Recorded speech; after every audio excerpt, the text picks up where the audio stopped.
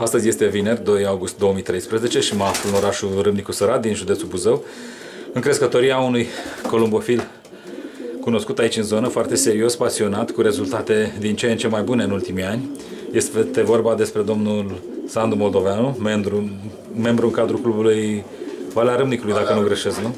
Afiliat la FCPR. Ce faceți, domnul Sandu? Ce să fac? Bine, crescătorii, după cum se vede. E aproape 9 seara și v-am găsit tot la Porumbei, nu?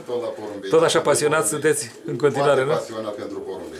Ce ne puteți spune câteva cuvinte despre pasiunea asta noastră? Când v-ați apucat de porumbei? De porumbei m-am apucat normal de mic, copil, dar Mai serios pasionat, așa? așa pasionat din 2006 am început, am construit crescătoria, mai mult soția decât eu, eu plecat prin străinătate și după aia când am venit am găsit-o cum am găsit-o și mi-a plăcut și ce să... Cu ce porumbei ați început în 2006? În 2006 am, asta, am luat porumbei de la Sorescu Marin, de la Enache Radu, după aia mai am adus pe la Munteanu de la Sibiu, Domnul Vasile Montean, da? de la Cosmin, Care Cosmin? Domnul Monteanu domnul Monteanu Cosmin. Cosmin, da? am mai adus Și încet, încet am înțeles că încercați să vă formați o linie a o linie dumneavoastră, mea, nu? da. Ați reușit cu performanțele cum stați? Eu știu că stați din ce în ce mai bine, de la an la an. Performanțele am început să, din 2006, am stat binișor. Poate, nu, anul ăsta am stat și tot așa. Nu prea a fost, să zic eu, performanțe, cine știe ce, dar uh, eu sunt mulțumit. Creșteți, Oricum. creșteți mulți porumbei, domnul Sandu?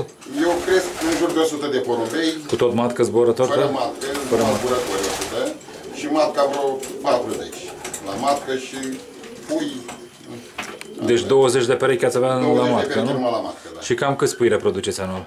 Vreo 120-130 Ah, de deci scoateți, nu? Da. Și zburați toamna? Îi duceți? Toamna nu zbor, fiindcă n-am timp de ei și serviciu, eu am fost mai mult plecat pe la București, mai mult s-a ocupat soția. Înseamnă Eu- că sunteți un norocos din punctul ăsta de Foarte vedere. norocos, Foarte norocos, din nu? punctul de vedere, cu, cu noroc cu soția, că ea mă ajută foarte mult. Ce să mai... Și nu-i mișcați deloc pui toamna? Toamna nu e nici de Nu deloc, doar ce doar în jurul casei, Numai nu? în jurul casei atât. Și primăvara când e Primăvara, da, începem. Când se începe concursurile, până să înceapă concursurile, îi mișcăm. în mai multe antrenamente private, nu? Antrenamente, da, începem de la 5 km până ne ajungem și după aia cu, cu concursul cu toată mașina. Și îi duceți întotdeauna pe direcția de zbor, îi antrenați, nu? Ne-am dus și în altă direcție, că toți zice că să-i mai ducem și încolo și să-i plimbăm și tot. La Ardealul, la noi cum e Ardealul, știți. Cum vi se pare ruta de zbor, domnul Sandu, aici pentru noastră? Ca și, Vă gru- spun, ca zbor și din grupare. 2006, normal din 2000, din 86 sunt crescătoriu, dar din 2006 sunt pasionat de porumbei, dar uh, ruta de zbor, Ardealul nu prea mi-a dat Nu vă satisfacție. avantajează, nu? Nu, nu, nu. De ce? Nu intră porumbei pe aici, pe zona noastră, nu? Și intră și nu prea intră, dar uh, mai mult Cizlău, Berca, Deci intrările sunt mai mult pe Cizlău și pe Berca, nu? Și porumbei? Puii, mai ales puii, eu cum să zbor puii cu, cu Cizlău și cu Berca, dacă la noi intră ultim. Și clasăm din 600 de pui, să spun așa, să clasează 2-3 pui. Face Da, norma. puțin. Deci foarte puțin. Și v-ați gândit la o alternativă a rutei de zbor, să Ne-am încercați și pe gândit, dar altă nu avem direcție? cum, posibilități. Să zburăm cu urziceniu, cu ăștia, cum spune alții, și nu, nu prea îmi convine să mă duc să zbor cu urziceniu, să fac, ne trecem la DRC-ul ăla, nu putem să ajungem, nu. Da, sunt distanțele mai mari, sunteți o Da. grupare izolată, probabil. Toți, nu știu, deocamdată nu. Tot aici rămâne, tot cu zău, tot în... Vă zburați porumbei la natural sau la văduvie? Porumbei zbor la natural, că de văduvie nu am timp, cum v-am spus, la natural, ce să vă spun, sunt mulțumit. Reușiți să vi păstrați în formă tot timpul Tot sezonului? timpul îi reușesc, că v-am zis, să- când eu, când soția se ocupă de ei, și asta e toată treaba. Cu care dintre sexe ați obținut mai bune rezultate? Cu masculii? sau am cu vorbit. femei? Cu masculii, nu? Rezultate mai bune, da. Da. Femeile, mai vaca le-am prins cu ouă, vrea vacă au pui și nu mai aia, dar mai mult cu masculii. Scoateți pui din porumbei de zbor în timpul sezonului? Scoatem așa la început prima serie, atunci după aia nu mai scoate. Punem ouă din astea false Mhm. și ne chinuim cu ei așa cum la, să știe, la natural. Sunteți un crescător răbdător, domnul Sandu, cu Sunt porumbei foarte dumneavoastră? răbdător Cu porumbei. Câți ani le acordați încredere până decideți, de exemplu, să Eu eliminați? porumbei de viteză mai mult de un an de zile nu le acord. La cei de fond, 2 ani, 3 ani. La cei de fond. La cei de viteză mai mult de un an de zile nu le acord. Că dacă n-a făcut în primul an, al doilea an sigur nu mai faci, că nu mai au șanse.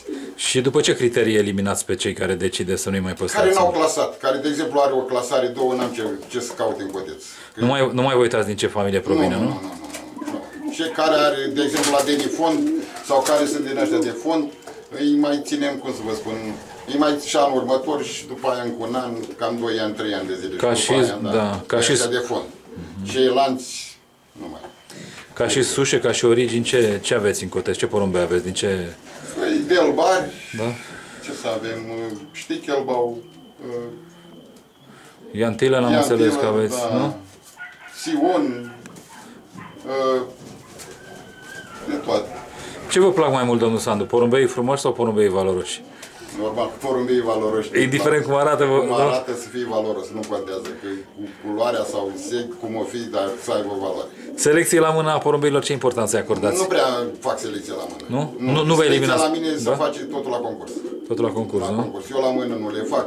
Unii zic că primăvara, că să ia la mână, nu, sau toamna, nu. Le acordați tuturor șansa Da, coșului, tot. nu? Când i-am început primul concurs, care rămân, rămân, care nu, n-are ce să Da. Ăștia, ăsta e selecția la mine. La altcineva, nu știu. Norocul în sportul columbofil, ce părere aveți? Ce importanță are? Vă ajută să ajungeți campion județean sau național sau ai mai puțin nevoie de noroc? Ce părere aveți?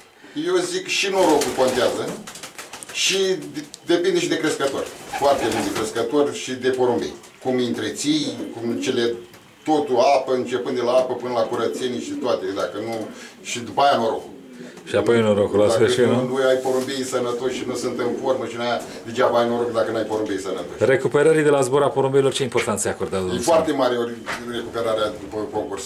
E mai ales în prima zi și a doua zi, dacă nu se refac, în maxim două zile, trei zile, vă dați seama că noi zburăm din 5 în 5 și dacă nu se fac în două, refac în două, trei zile, e greu să-l mai bagi la concurs după aia. Știu Nu că mai- ați avut uh, în planul de zbor aveți etape foarte grele, undeva Da, pe foarte graniță, undeva la 400 de km săptămână de săptămână. Păi, de exemplu, satul mare, Sein, noi avem 420, 400 și noi, că cum ar fi, de exemplu, un, un fond. Exact, pentru alții Asta un fond pentru mic, da. porumbei, da. Și de exemplu, cum avem anul ăsta la un uh, Sein sau Baia Mare, la un Baia Mare le-a dat drumul pe cum a fost timpul și am pierdut atunci, s-au pierdut porumbei. S-au pierdut S-au porumbei pierdut mulți. și porumbei valoroși și asta a fost și acum o luăm iar de la capăt și iar și uite așa în fiecare an până când nu îmbătrâni. Dacă un porumbel în timpul sezonului de concurs îl îl simțiți, domnul Sandu, că nu e în cea mai bună formă, îl angajați totuși sau îl păstrați acasă? Nu, nu-l angajez. Eu așa, asta mie. Eu nu-l angajez, îl, mă uit la el, îl tratez, îl aranjez și poate la al doilea concurs îl, îl bag.